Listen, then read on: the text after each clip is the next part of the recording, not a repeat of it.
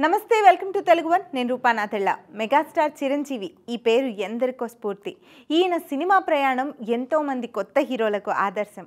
ఎలాంటి cinema background లేకుండా కేవలం స్వయం కృషితోనే అంచెలంచెలుగా ఎదిగి అభిమానుల చేత మెగాస్టార్ అనిపించుకున్న చిరంజీవి తమ్ముడు ఇప్పుడు పవర్ స్టార్గా అభిమాన గణాన్ని గణనీయంగా పెంచుకోవడానికి ముఖ్య కారణం మెగాస్టార్ వేసిన గట్టి పునాది. తన సోదరుణ్ణి హీరోగా పరిచయం చేయాలన్న ఆలోచన వచ్చిన తర్వాత ఒక పర్ఫెక్ట్ లాంచ్ కోసం మెగాస్టార్ ఎన్నో ప్రయత్నాలు చేశారు. పవన్ కళ్యాణ్ చేసే మొదటి సినిమా మామూలుగా ఉండకూడదు అనుకున్నారు. అందుకే ఎంతోమంది డైరెక్టర్లను పరిశీలించిన తర్వాత ఆ బాధ్యతను ఈవివి సత్యనారాయణకు అప్పగించారు. బాలీవుడ్లో అమీర్ ఖాన్ జూహీ చావ్లా జంటగా రూపొందిన blockbuster movie Qayamat Se Qayamat Tak చిత్రాన్ని తెలుగులో అక్కడమ్మాయి ఇక్కడబ్బాయి పేరుతో రీమేక్ చేయడం ద్వారా పవన్ను హీరోగా లాంచ్ చేసేందుకు నిర్ణయించారు. గీతా ఆర్ట్స్ పతాకంపై అల్లు అరవింద్ ఈ సినిమాను నిర్మించారు. పవన్ ఎంట్రీ మామూలుగా ఉండకూడదు అనుకున్న చిరంజీవి ఈ సినిమాకి సంబంధించిన పబ్లిసిటీని కూడా డిఫరెంట్గా ప్లాన్ చేశారు. ముందుగా పవన్ కళ్యాణ్ ఫోటోతో ఒక పోస్టర్ను రిలీజ్ చేసి ఈ అబ్బాయి ఎవరు అంటూ అందరిలోనూ క్యూరియాసిటీ క్రియేట్ చేశారు. మరికొన్ని రోజులకు ఎస్ ఈ అబ్బాయే కళ్యాణ్ అంటూ రివీల్ చేశారు. అంతేకాదు ఈ సినిమాలో హీరోయిన్గా నట సామ్రాట్ అక్కినేని నాగేశ్వరరావు మనవరాలు సుప్రియను ఎంపిక చేశారు. ఇద్దరు ప్రముఖ హీరోల వారసులు ఈ సినిమా ద్వారా పరిచయం కావడం అప్పట్లో టాక్ ఆఫ్ ది ఇండస్ట్రీ అయింది.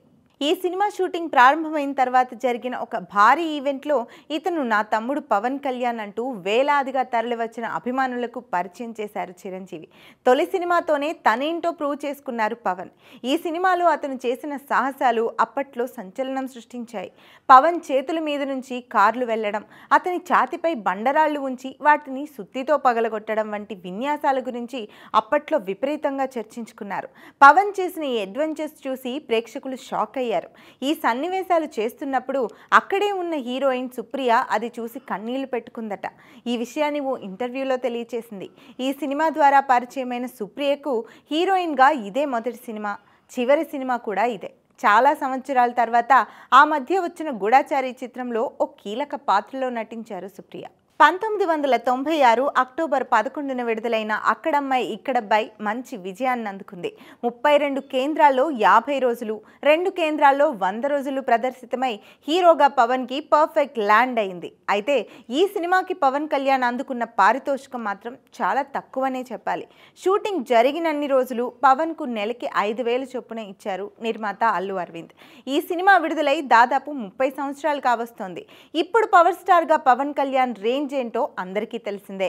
పవన్తో సినిమా చేయాలంటే నిర్మాత అతనికి ఎంత ముట్ట చెప్పాల్సి వస్తుందో ప్రత్యేకంగా చెప్పాల్సిన అవసరం లేదు. మొదటి సినిమాతో సక్సెస్ఫుల్ హీరో అనిపించుకున్న పవన్ ఆ తర్వాత తను చేసే సినిమాల ద్వారా తనకంటూ ఓ ప్రత్యేకమైన స్టైల్ని ఏర్పరచుకున్నారు. ఆ తర్వాత కొన్ని బ్లాక్ బస్టర్ మూవీస్తో పవర్ స్టార్గా ఎదిగారు.